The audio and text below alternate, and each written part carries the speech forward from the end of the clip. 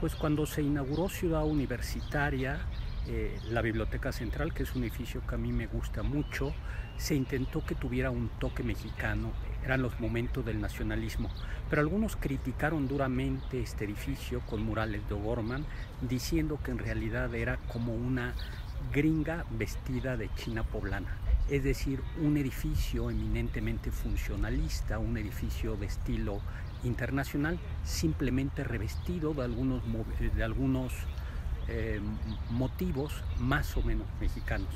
Pues los invito a seguirme en mi canal de YouTube y en mi página de Facebook. Yo soy Héctor Segal.